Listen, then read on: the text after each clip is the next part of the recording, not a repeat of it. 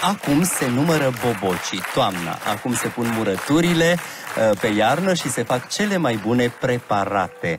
Multă lume mai ține aceste obiceiuri, chiar dacă azi găsești de toate pe la marketuri. De pe coclauri Iosif Cionterei, asta te va povesti cum se face bulionul. E o chestie interesantă tot timpul în avion, toată lumea cere suc de roșii. Și eu rămân impresionat, pentru că acasă nimeni nu servește suc de roșii, cel puțin în lumea bună.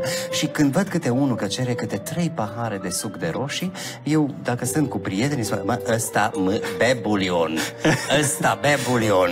Așa, așa am pățit-o eu când am ajuns în Cluj, mintind după ce am început facultatea, am ieșit cu niște prieteni la un restaurant, toată lumea salată orientală. Așa. Și colea când ne aduc doamnele pe masă salata respectivă, că am zis că nu spar gașca. Am comand și eu și și-o comandat și colegii.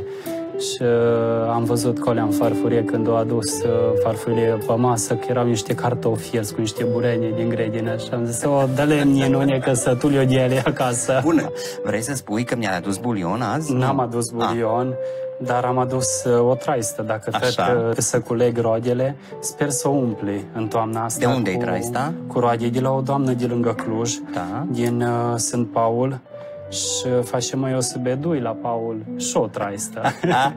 să știe că e de aici, de la Sunt Paul. Îți mulțumesc foarte mult. O cu să păstrez drag. cu drag aceste minute, să potrivește și cu vestimentația da. mea. Uh, ce ne poți spune despre această tanti Mărie pe care o salutăm, uh, o iubim, o îmbrățișăm de aici, de la București, uh, despre rețeta ei de bulion? Tanti Maria, Tanti Mărioara, îi spune lumea pe acolo prin satul Coasta, comuna Bonțida, Uh, din uh, județul Cluj. Comuna Bonțida e cunoscută cu un festival uh, renumit, dar și cu Castelul Banfi. Uh, dar acolo, în Comuna Bonțida, există și satul ăsta Coasta, un sat destul de micuț, dar relativ românesc, pentru că în este al alte sate de la drumul principal sunt sate ungurești, iar românii, din anumite conjuncturi, au trebuit să margă pe marginea satului și acolo s-a format uh, satul Coasta. Eu am auzit de satul Coasta tot așa din discuția cu unul, cu doi și uh, am zis, mă, ia să mă duc eu în satul Coasta. Și prima femeie care mi-a ieșit în cale a fost dumnea ei, tanti Mărioara alea mărioară, care făcea bulion și au fost adunat roșiile din grădină, părădăi, sporodici, cum li se mai spun în alte zone etnofolclorice, și fierbea acolo pe soba scoasă afară și pus o țără de copertină, dacă în caz că vine ploaie să nu dă el bulion și până atunci era pe gătate cu bulionul și am surprins-o așa cum eu am găsit-o pe Lelea Mărioară.